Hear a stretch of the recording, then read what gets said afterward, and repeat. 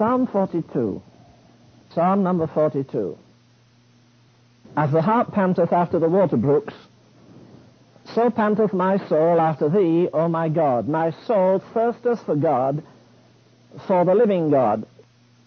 When shall I come and appear before God? My tears have been my meat day and night, while they continually say unto me, Where is thy God? There's an imaginary magic to some people about the new year.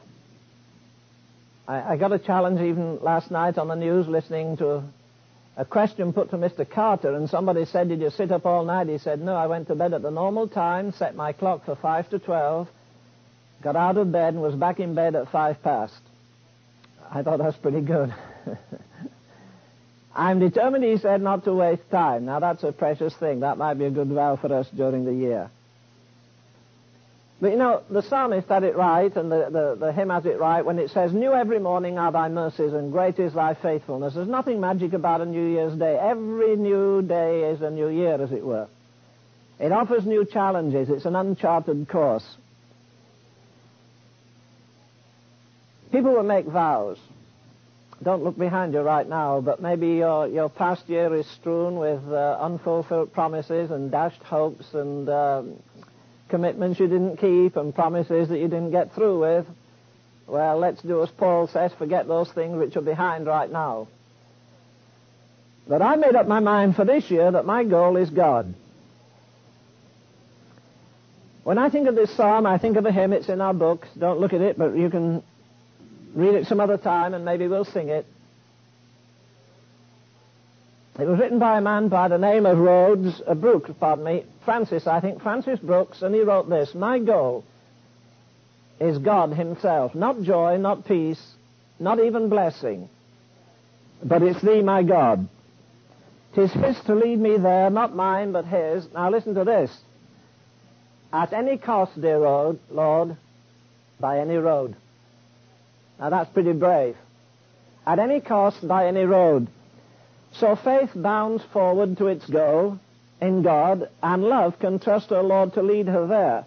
Upheld by Him, my soul is following hard till God hath fulfilled my deepest prayer.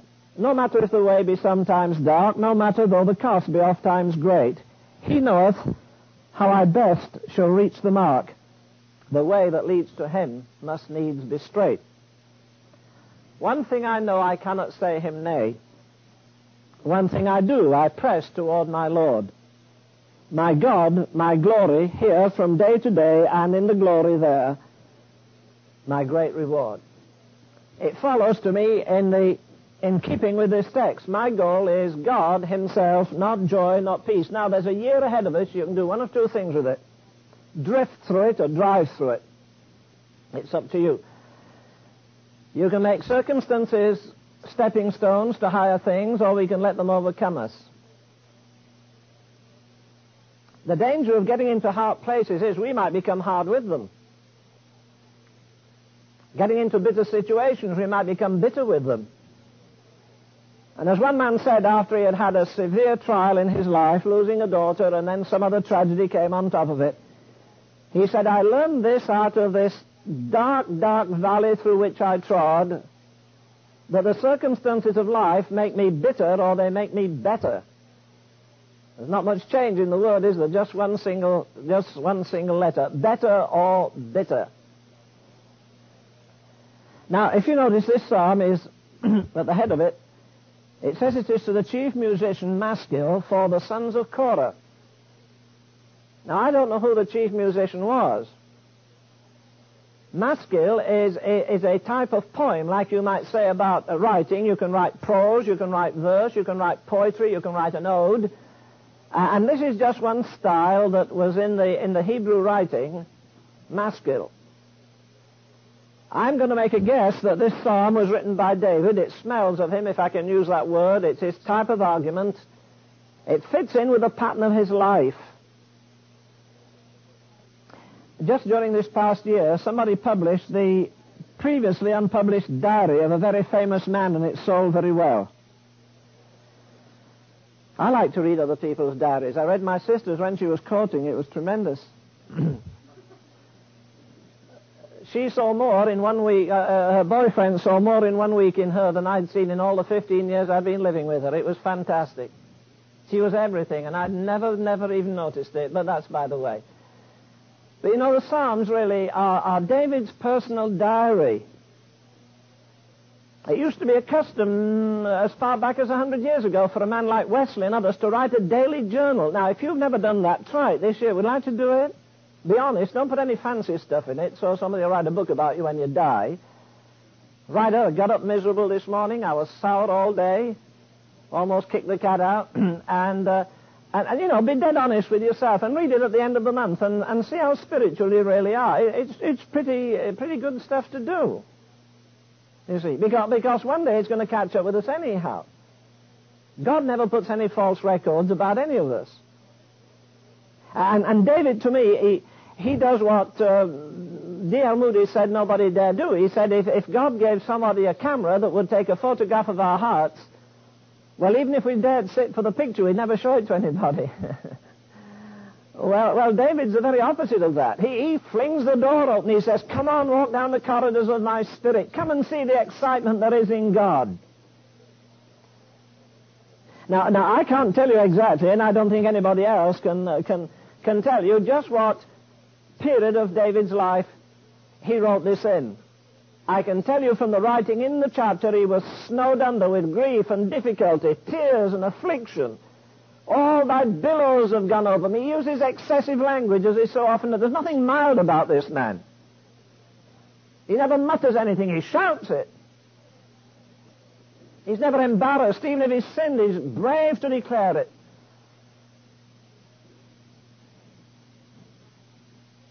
He says, My heart panteth after the water brooks.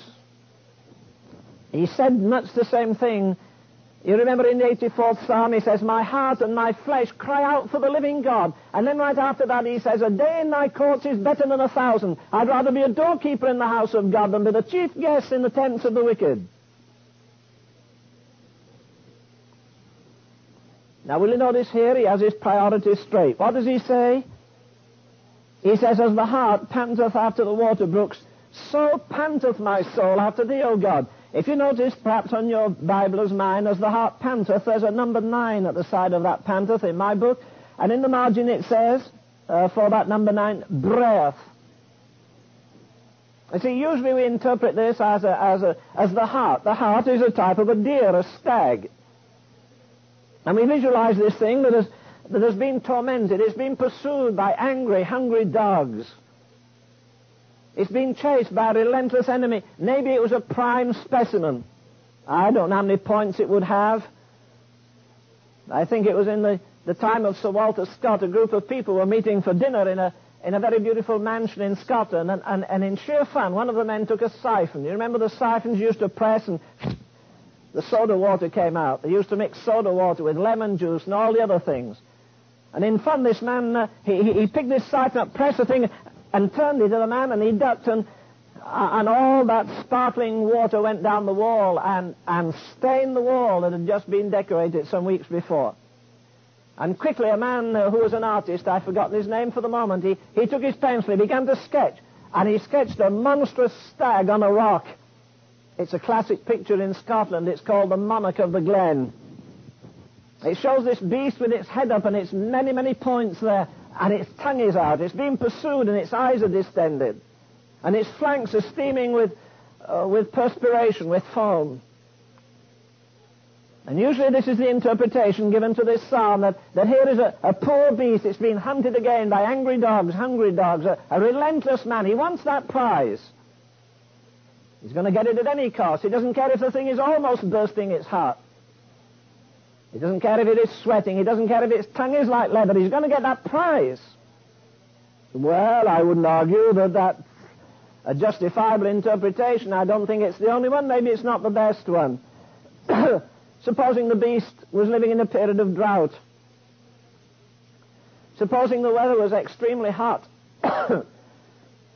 Maybe it was able to find a little vegetation, but, but it couldn't find any water. And animals are like human beings. They can live quite a while without food. They cannot live without water. And so the thing lifts up its voice and, and it brays, hoping there'll be an answer from somewhere. Come over here, there's water here. I'm dying of thirst. I'm, I'm exhausted. My energies have gone. I've no resources left. Come to my help. Well, that could be the other picture. But notice here that the, the psalmist says that just like that panting hart, you might say to that hart if it could, listen, listen, don't get too worried about water. Look over there, there's a bunch of your friends. Go and, go and jump around with them. Go over there, there's some grass. Go over there, there's some shade. You can get... No, no, no, no. The only thing this thing wants, instinctively it wants water. I think if somebody in our day had gone along to this, um, this wonderful man, this psalmist, They'd have said, hey, listen, I want to tell you something. Now, don't you let the devil get in right here. Keep your chin up, man. You're under the weather. It's going to pass anyhow. Isn't it true that days change? And isn't it true we're like yo-yos in our feelings, our emotions, and everything else about us, our nerves? What do you think of a past record? Hey, come here, David. Come here. Come on. Come on. Lift your head up for a minute. Remember when you were going down the main street of Jerusalem and thousands were clapping their hands and saying, Saul has slain his thousands, but David is tens of thousands. Take comfort in the fact you gave us the greatest psalm that has been written, the 23rd psalm. Uh, why don't you look at your record there and, and, and discover all the things that you've done? Remember when people got it whispered around town, you were about 15 years of age, you destroyed a lion one day that came to destroy your sheep? Another night you killed a bear. And remember when everybody yelled like an earthquake, he's slain him. The day you killed Goliath. Come on, man, back up. All you have to look around is all your diplomas and all the rewards you have, and there's never been a king like you anyhow. Oh, you didn't stand as tall as Saul for sure. He was the, the tallest man in Israel. But remember, there came a day when you were the head of the parade and they forgot him. Listen, listen, listen, bend your ear. You can hear them singing in the sanctuary. They're singing one of the psalms you wrote, the latest thing you wrote there. Cheer up! The man has more sense than to do that. He says, I'm not satisfied with anything except God. My goal is God Himself. Not joy, not peace, not even blessing, not the favors. And I, I want God. I need Him. I don't know what other need you'll have in 1977, but I'll tell you this, you'll need God more than ever you've needed Him in your life. And your soul will not be satisfied. Does it matter if everything's right, if your relationship with God is wrong? Does it matter if everything is wrong, if your relationship with God is right? He says, my goal is God Himself. Tears have been my meat by night and by day. But he knows that he's got everything in its, in its right place, in its priorities, you see. The hart panteth after the water brooks, and I'm panting after thee. I like that. It suggests the man is desperate for one thing. He knows what he desires. Was it, was it he who said, One thing have I desired of the Lord, that will I seek after?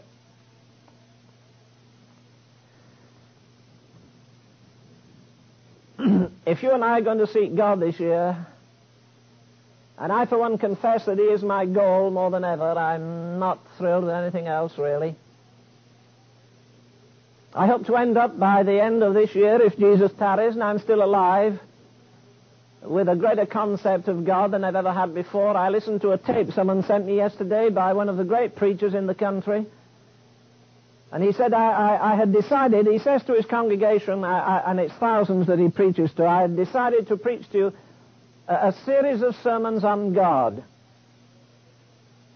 But I can't do it because I don't know him. I know him in part, he said, but I don't know him as I want to convey that revelation to you. There's still something vague. The image isn't clear. I don't know him and know his power. You don't find many honest preachers these days, and for to say that to a, a couple of thousand people is a pretty daring thing. He continues in the second verse, he says, My soul thirsteth for God. And then he adds that beautiful thing, for the living God. Hallelujah. I don't know how many times the Lord has reminded me this week of Jesus standing at the book of the Revelation, and after all, you can have all the other witnesses. Remember what Paul says, isn't it, 1 Corinthians 15, where he gives you a list of those post-resurrection appearances of Jesus. He appeared to Mary, he appeared to Peter, he appeared to me also. But at the end of the line, Jesus says, I am he that liveth and was dead, and behold, I am alive forevermore. Well, that ought to shake us to our foundations and thumb your nose to the devil and circumstances and say, he's alive. One thing to sit here and sing because we were chosen, uh, asked to sing, and we sing it regimentally, and quite so. I saw the risen Savior. Is he living? Not, not only is he living uh, in heaven, is he living in me? Because I'll tell you one thing. Satan can attack me, but if he attacks Jesus, he'll lose because he never beat Jesus yet. And as Martin Luther said, there came a day when, when I died and when Satan came to the door of my heart and knocked, I opened the door and said, listen, Jesus lives there. He said he walked away. He couldn't face him. He can face Martin Luther. He can face my theology. He can face my reasoning. He can face my arguments. He cannot face the Christ in me. Well, the only way that I can uh, stand with any authority is to know that He's not merely my Savior, but also He's my Lord too. But He says, I, I, I thirst for God, for, for the living God. Now that's His first priority. He says in verse 3, My tears have been my meat day and night. No, pardon me, at the end of verse 2. When shall I come and appear before God? What is he talking about? There are some who are saying here that he's thinking about the Feast of Tabernacles the time when they had great joy and great ecstasy. Why is he exiled? What has happened to this man? He wrote, I think, the most terrifying psalm of all, Psalm 139. And you may remember in it he says, Whither shall I go from thy presence, and whither shall I flee from thy spirit? If I make my bed in hell, thou art there. If I take the wings of the morning and go to the other, there's no escaping God. And yet he says God is afar off. How did he come to his backsliding? Or is it that God graciously has put him into exile for a little while? The hart panteth after the water, I need water, I need water, I'll die. But I'll die looking for water. But hey, what about the flower? These are not real as nice as they look, but what about the, the flower in the field? Can it run looking for a stream? Can it run looking for water? No, no, no, no, no, no. Oh, the hart may pant. The little plant may wither. While we were in the islands there, we were looking at some beautiful roses, and the folk at the house where we stayed bought a lot. They're still in full bloom. They were beautiful. We put them in the garden. But I noticed just before we left that at least one plant was withering. it couldn't get to the water. The water must be brought to it. And there are times when in His infinite mercy, instead of me having to, being able to go to the sanctuary, Remember what he says in that the 84th Psalm so beautifully? He says, My heart and my flesh cry out for the living God. And you know what? I envy the, the, the, the swallow, he says. The sparrow has found a house. And the swallow a nest where she may lay her young. Even mine altars, oh my God. He almost envies the sparrow that has a nest in the roof of the house where he can hear the praises of God. I'd like to be that little swallow. You know how a swallow sticks its nest on the side of the wall, and he says that, that it, it, has an instinct. It, it goes back to that very place every time it's released. And he says, my heart and my flesh cry out for God like that. And again, I'd rather be a, a doorkeeper in the house of God than dwell in the tents of wickedness. And so he says, when shall I come and appear before him? Now you notice he didn't pine for the fellowship of the saints before he pined for the presence of God. Now look, if you're going to make God priority number one in your life, I guess all of us are going to have to do a bit of shaking and changing around. As I've said too often, and I say to myself more often, the good is so often the enemy of the best.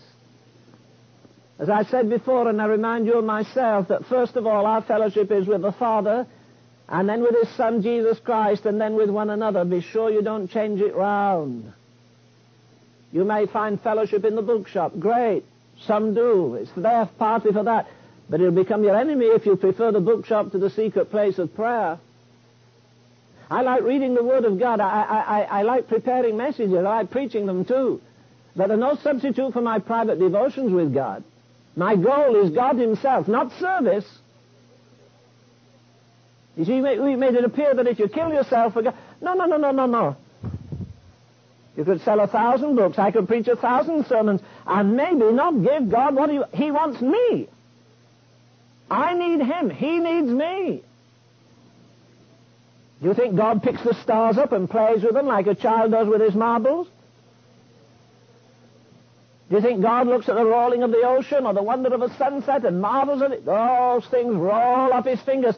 I was purchased by his blood. I am purchased through the death and resurrection of his son. I am precious to him. And when you're down in the weather, spit that in the devil's face and tell him it, will you? You're more precious to God than a thousand worlds this afternoon. And you better not in any way insult God and let Satan take advantage of you or let Satan take advantage of me. I say this man is under the weather and I don't know why. I can read between the lines, and I hope without getting off the lines, that in this situation he's suffering adversity, calamity, and tragedy. I think here he's actually running away from his spoilt son Absalom, who cheated him and took his throne, and he's running away, and maybe he's hidden in a cave. And it seems that it's as dark as night, and he says, All thy billows. Will you notice that? He doesn't say Satan's billows. He doesn't say my circumstances. He says thy billows.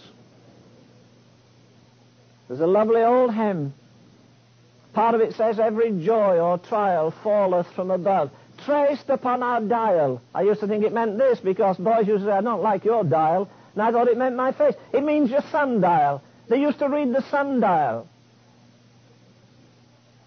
And when the shadows came over, you couldn't tell the time.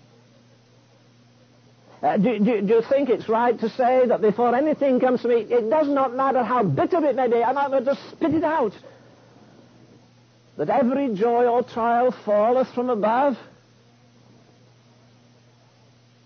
traced upon our dial by the Sun of Love. Not a surge of worry, not a shade of care, not a blast of fury touches the spirit there. And then he says, hidden in the hollow of his blessed hand. Never foe can follow and never traitor stand. Huh? Wasn't it this same psalmist? Sure it was. Who wrote somewhere, I don't know, Psalm 32, I think, when he says, My times are in my hands. People often ask me if I have a secretary. I say, yes, he's very good. I do my best. I happen to be my own secretary, but uh, do you have a secretary? I say, oh, yes, yes. Uh, someone make your appointments? Yes. Who? The Holy Ghost. I don't make them. If I followed everybody's inclination and invitation that comes man, I'd need two jets. No, no, no, no. Every joy or trial falleth from above. Traced upon, we're hidden in the hollow of his blessed hand. And if it encourages you, let me tell you something. He holds the world up with the other, so I don't think he's much, too much trouble with you, do you? Hmm? He upholds all things by the word of his power. My times are in thy hands.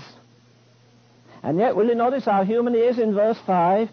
He says, Why art thou cast down, O my soul, and why art thou disquieted within me? He repeats the same thing in verse 11. He says, Why art thou cast down, O my soul, and why art thou disquieted within me? Will you notice what he says? At the end of verse 9, Why go I mourning because of the oppression of the enemy? Now, that's a question for you. Some people say the Bible gives you all the answers. It gives you a lot of questions, too. Why do I go mourning? Wait a minute, wait a minute. Why am I in sackcloth and ashes just now? Well, the Lord must not have risen from the dead, that's all to it. Or, or the devil got in and, uh, and, and, no, no, come on, come on, come on.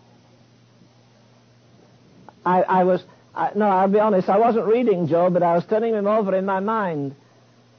And, and you remember when, when God was going to try Job and, and uh, Satan came up. He never tells the truth, and his children are like him.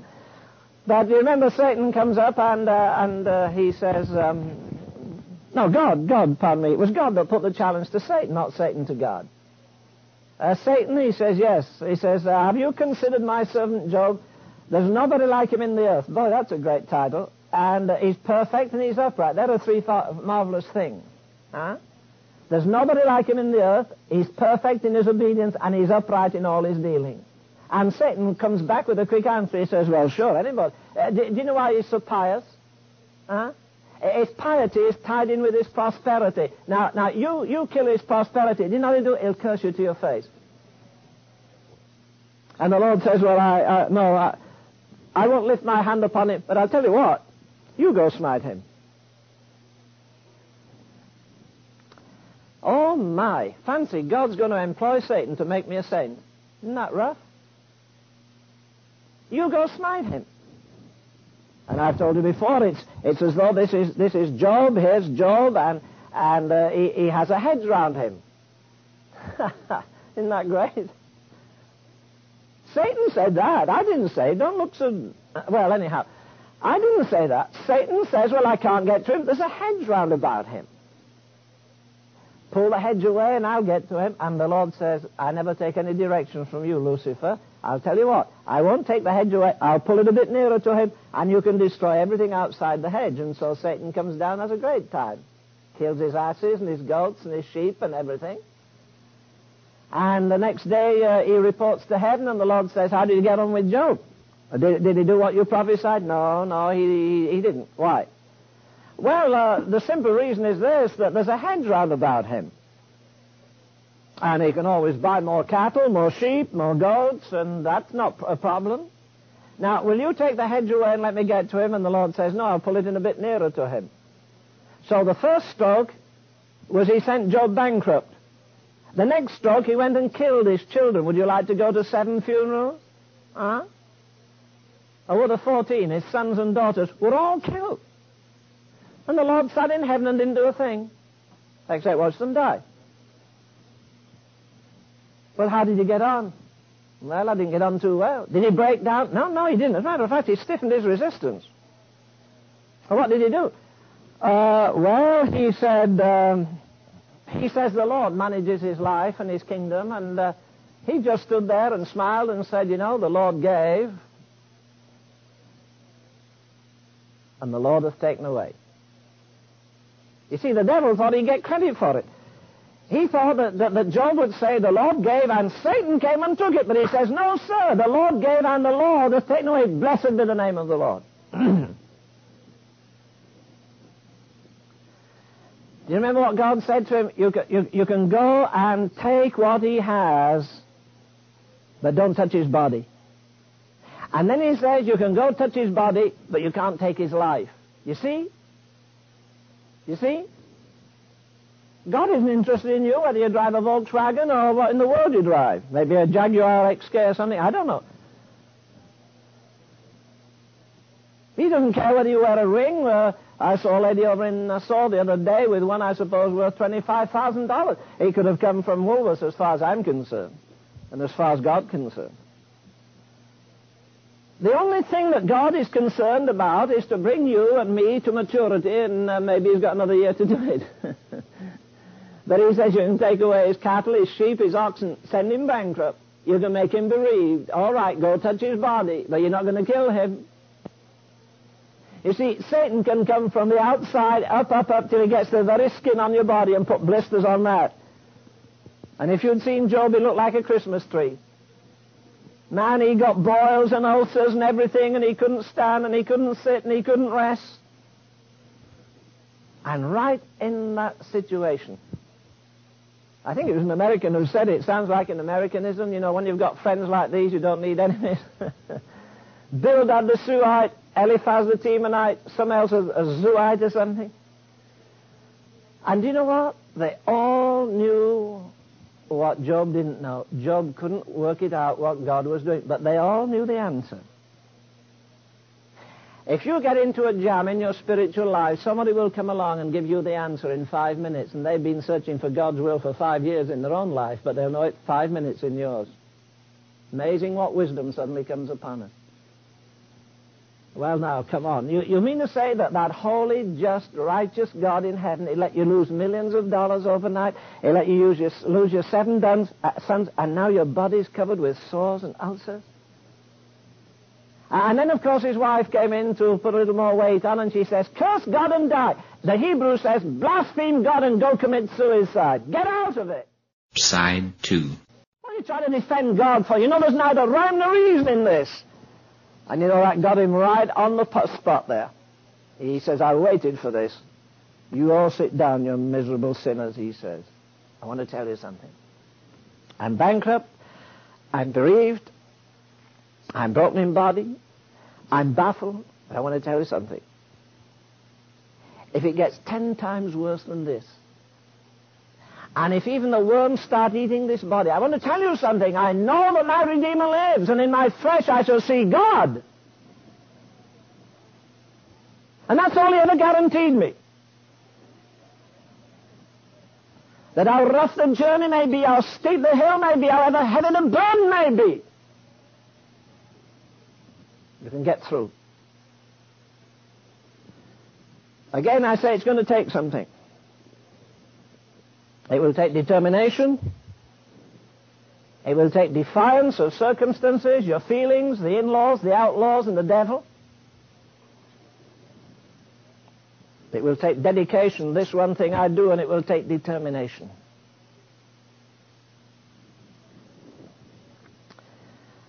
You know, we always use, for some reason anyhow, we use the classic case, at least we think the classic case is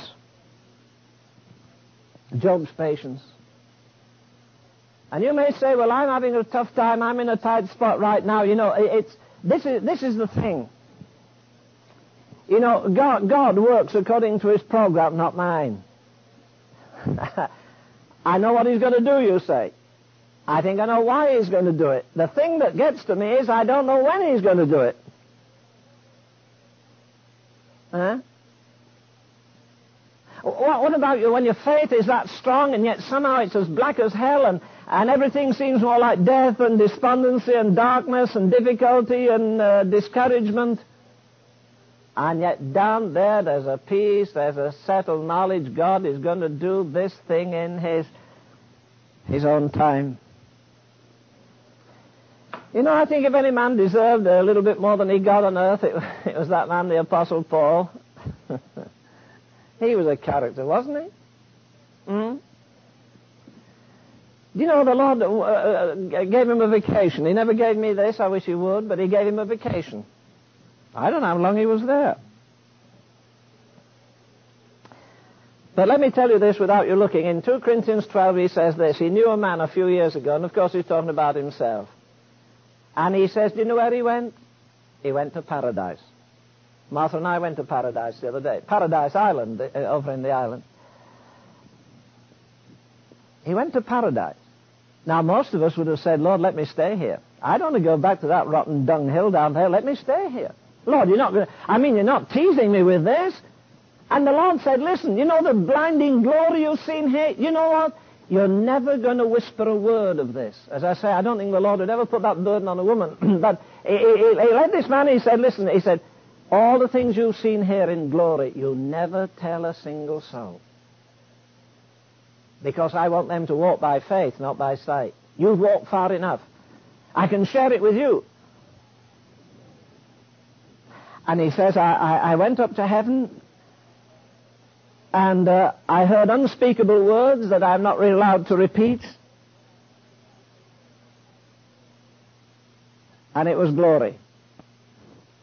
Well, that's all right. Do you know what comes at the end of the chapter? He says, I have a thorn in the flesh. And I've prayed about it. And I've prayed about it. And I've prayed about it and I still have a thorn in the flesh. hmm You see, lest I should be exalted above measure and say, listen, you can talk about your revelations as you like. I'm the only man ever been to paradise. I, I walked up in the, in the glory with the resurrected Christ. Took lunch one afternoon with, uh, with Abraham and Isaac, and I met uh, a few of those marvelous characters you read about, you know. Uh, those angels and those archangels, and, and, and I saw the seraphim. And, but he says, lest I should be exalted above measure, I was given a thorn in the flesh.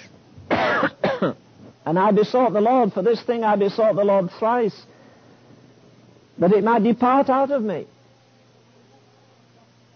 But you see, God's blessing, God, God's denials, Pardon me, God's delays are not God's denials. Faith that is going to be trusted is going to be tested. You know, the, the, danger with all of us is we start counting our bruises, and that, uh, there isn't a hymn that says, count your bruises, name them one by one, is there? But that's what we do, don't we? You get in a tight spot and say, you know, only the other week I had this and I had that. You know, Mrs. So-and-so never seems to get out like that. Hmm? That's a very dangerous thing. Paul says that uh, I had a thorn in the flesh. I don't know what it was. I know some say it was his wife, but I'm not sure. Others say it was his mother-in-law. But uh, I, I, I don't think it was anything of that nature at all. There was something in him, I think, a physical defect that it never pleased God. But wait a minute, that's not all. I wanted it to depart from me. And he says, you know what? I've got something bigger than that. Man, I've got something a hundred times bigger than you being here. What is that? That I'm going to give you grace and grace and grace. And if it gets worse and worse, I'll pour a blessing incommensurate to the difficulty that you're in. Now, I suggest this. If you come into a situation this year you've never been, or if you're in one now, first of all, go home and have a time of praise. Thank God He trusted you with it. You were big enough to take it. Because if you weren't, He wouldn't have given it to you. Isn't that what the scripture says? He's not a liar. He will not suffer you to be tempted above what you're able. Now the devil's trying to tell you you're not able. As I say, thumb your nose to him. Say, Lucifer, I've got a thorn in the flesh, and you know what? God isn't going to remove that flesh, but I'm going to get more revelation, more glory. First of all, I'm going to thank God for it. Secondly, I'm going to say, God, I thank you for trusting me. Secondly, I thank you for the glory you're going to get out of it. Thirdly, I thank you for the improvement it will mean in my life. And fourthly, I thank you for the person that, that's concerned in this situation. Listen to what he says. oh, this is beautiful. You don't think so, I do. It's good preaching, this. uh, he said unto me, My grace is sufficient for thee, for my strength is made perfect uh, when you get a straight A for physical development, intellectual development, spiritual maturity, no, sir, he says the very opposite. He says, my strength is made perfect in weakness, so that people will say, I'll tell you what, she had no strength when she started, and he had no strength when he started, and she didn't have much faith when she started. But oh, you should see how they have grown, and it's not of them, it's of him. My strength. Will you notice that?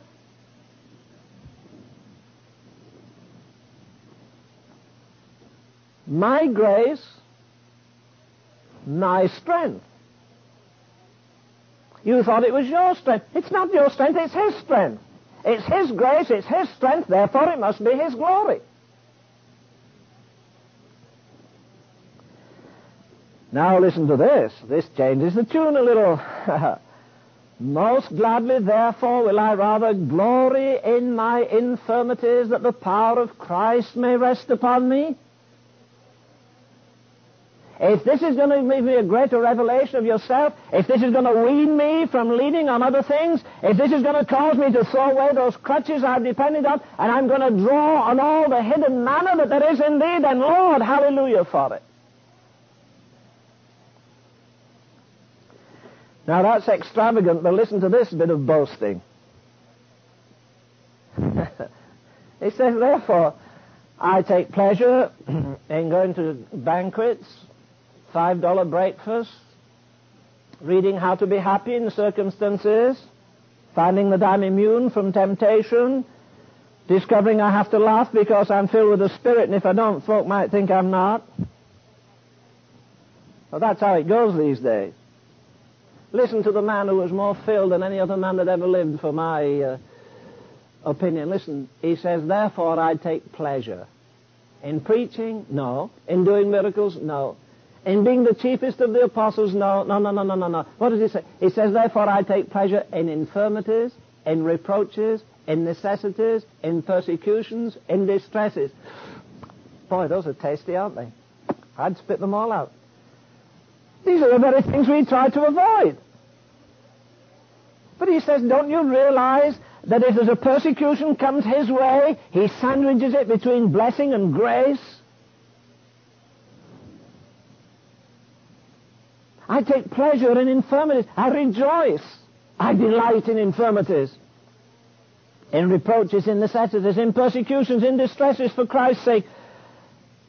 For when I'm weak, then I'm strong. Isn't it great that God has to strip us before He clothes us? Empty us before He fills us? Cast us down before He lifts us up? Get us away from others, sometimes from folk in fellowship because you lean too much on them sometimes. And He says, look, I want you to, I want you to do what the psalmist says.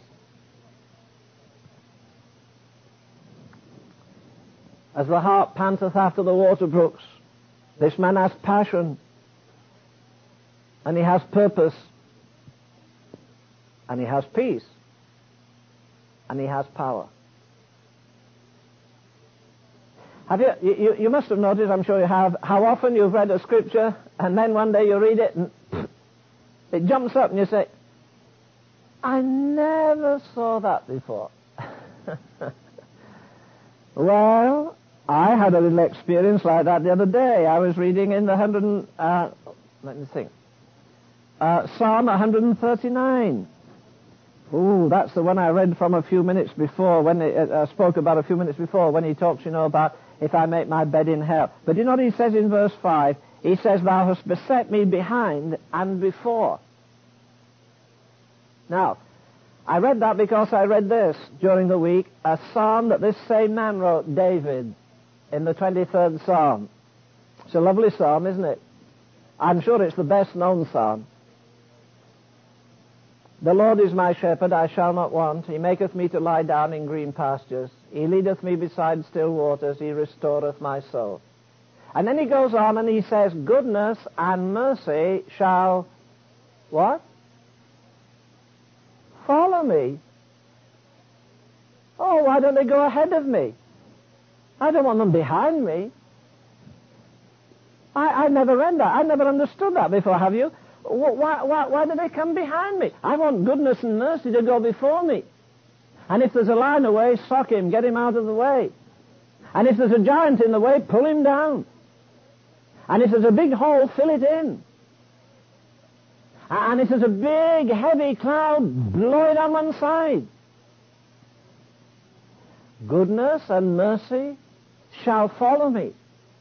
Do you know why? Because I need a guard at the back as well as at the front. Do you remember what God did with Israel? He led them by a fiery, cloudy pillar. But when the enemy was pursuing, he put the pillar behind them. He put the cloud behind them, and the enemy couldn't discover where they were. And you know, I need goodness and mercy behind me. Sometimes that's my faults will chase after me, and, and maybe some of the sins I committed years ago will come, and, and some of the mistakes I made, they'll come after me and hound me, and God says no. I put a fence there. I put a barrier there. Goodness and mercy are there. Not only that, he says they shall follow me.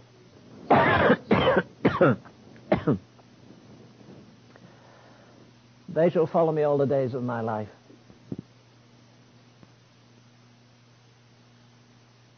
Rough for the sinner ahead of us as it is for the saint. Except they've no God to guide the way. But it was Madame Guyon, if I remember right, who said, With thee, my God, to guide the way, it is equal joy to go or stay. Could I be cast where thou art not? That were indeed a dreadful spot. But with my God to guide the way, it is equal joy to go or stay.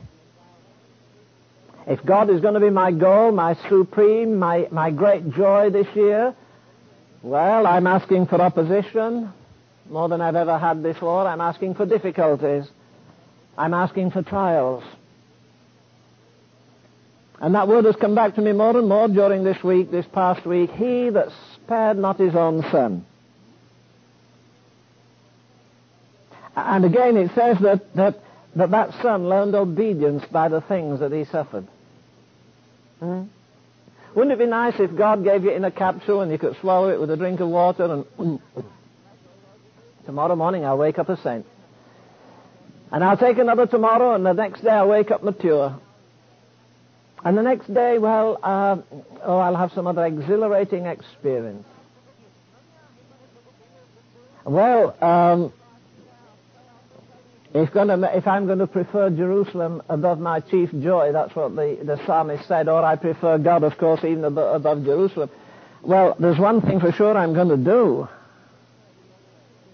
I've used the illustration often that when I was traveling earlier in, uh, a few years ago and I I'd be at the other end of the earth and somebody would say, hey, do you know you've a stack of mail, you've got about ten letters there, and I'd go, and I'd look them all through and I'd say, hey, the, the, oh, who's that from? My wife. Always read the letter from Martha first.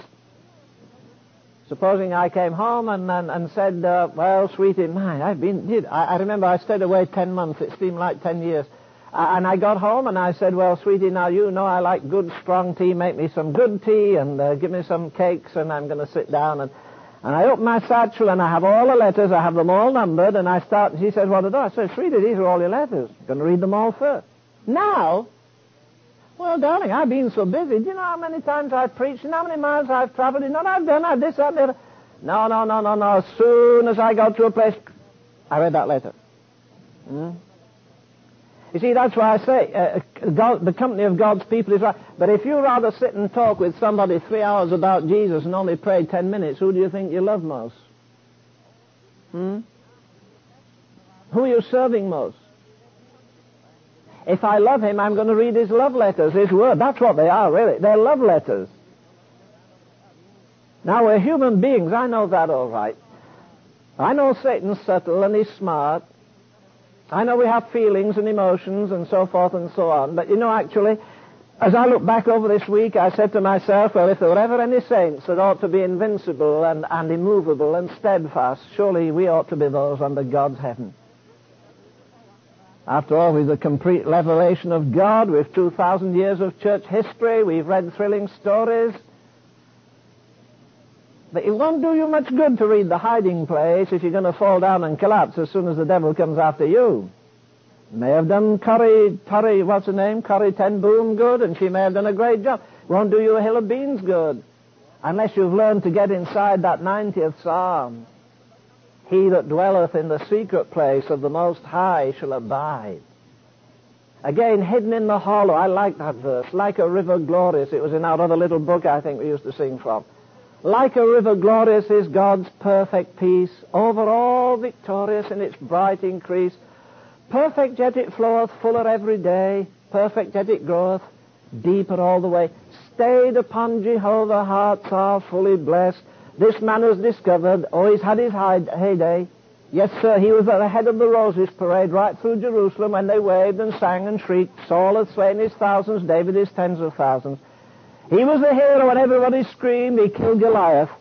He's the man that wrote more psalms than any other individual. He wrote about 75 out of 150. He's had his heyday, he's had his bright day, but he suddenly says this, listen, I'm in a jam now. My, my, my son's turned, he's a traitor to me. And billows have gone over me, and I've lost my kingdom, I've lost... But listen, I tell you what it's done. It's made me realize the vanity of life. And I'm going to pursue after God. Gaze on His majesty. Gaze on His mercy. Gaze on all the blessings He's bestowed on your life. And tell Him this year, I trust you will, and I'm, I am, I'm going to tell Him every day. My goal is God Himself. He may break my heart doing it because, you see, if He loves me, He'll whisper His secrets to me that He won't tell to somebody else. He'll share some, oh, it's not all apple pie. It's not all sitting on the side of the road whistling lovely hymns. There'll be times when it's grim and heavy and bloody. The apostle knew all these exciting things. He knew what it was to rot in a prison and be forgotten. He knew what it was to be tied to a whipping post and lashed 195 times. Man alive, that would have killed most of us. He knew what it was to have his face ripped open with rocks and lie bleeding in the sand outside of a city called Lystra and hear people say, through with him at last. Time we got rid of that lousy, stupid man anyhow think he has the greatest brain in the world and he follows a strange man called Jesus and thinks they're going to upset the Roman Empire and do everything. But you don't know the names of one of the men that threw a rock at him, do you? you don't know the name of the man that put the whip there and put those uh, lovely pieces, what they used to do, they used to put about an inch of copper sharp uh, and they had nine or ten or fifteen tails on that whip, and they, they lashed it down his back until it was like a ploughed field, and the blood ran out, and then they threw him down. And you know what he was? He says, and I, I, I thank God I have enough grace to get through every day. He doesn't say that. He makes the devil mad. He says, come on, pile it on. I glory in tribulation, in necessities, in reproaches. I'm filling up some of the sufferings of Christ. I stood in church and sang, Oh, to be like thee, blessed Redeemer. And you know what? He lets me share some of it. He may open your eyes one day and burden you for the rest of your life to pray for revival in China or some other country. Sure, if you have a friend, you share deepest secrets with them. And the secret of the Lord is with them that fear him. He doesn't share, any with you? You better find out why he doesn't. He doesn't shout them from the housetop. He doesn't preach them from the pulpit. He gets us alone. And when he's done it, he'll say the same as he did to the man that he lifted to heaven. Listen, this is between you and me. Say nothing about it. My goal is God himself, not joy, not peace. Yes, I may have to say the waves have gone over me. Somebody deserted me. Somebody failed me. But again, as the hymn says, his wisdom never faileth. His sight is never dim. He knows the way he taketh, and I will walk with him. Let's sing one, two, four. I think at least we can try. I don't think we've ever sung it or ever tried to sing it, but we could we could try to sing it. One, two, three. In, in heavenly love abiding, no change my heart shall fear. Do you know the tune, Oh Jesus, I have promised to serve thee to the end? Oh, One, two, four, let's sing it to that tune. In heavenly love abiding, no change my heart shall fear, and safe is such confiding, for nothing changes here. The storm may roar without me, my heart may low be laid, but God is round about me, and can I be dismayed? Wherever He may guide me, no one shall turn me back. My shepherd is beside me, and nothing can I lack. His wisdom ever waketh, His sight is never dim. He knows the way he taketh, and I will walk with him.